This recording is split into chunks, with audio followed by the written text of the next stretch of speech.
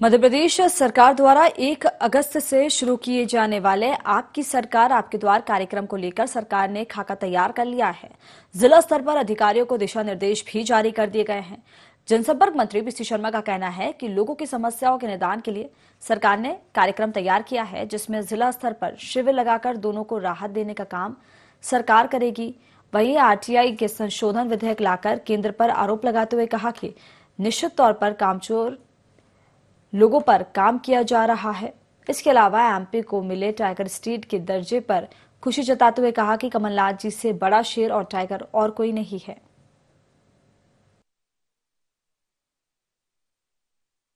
ये मुख्यमंत्री जी के आदेश है और हमने शुरू कर दिया। अभी दो आ, हमने कैंप लगाए थे। एक भीमनगर में और एक वानगंगा में। जितने डिपार्टमेंट हैं उन सब डिपार्टमेंट के कर्मचारियों अधिकारियों को बुलाया।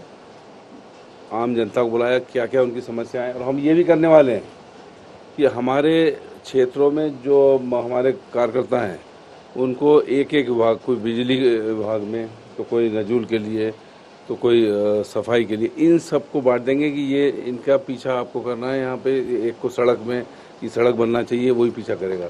तो इस तरह से सत्रह अठारह डिपार्टमेंट आ रहे हैं। सत्रह अठारह डिपार्टमेंट में उनके मोहल्ले में जाके लोगों के ये हमारे कार्यकर्ता काम करेंगे ये अभियान हम चला रहे हैं। जो जहाँ 526 टाइगरों के साथ कमलनाथ जी के नेतृत्व में मध्य प्रदेश नंबर एक पे आया है इन सब निश्चित तौर पर इनसे बड़ा शेर और इनसे बड़ा टाइगर आज की तारीख में और मध्य प्रदेश कोई नहीं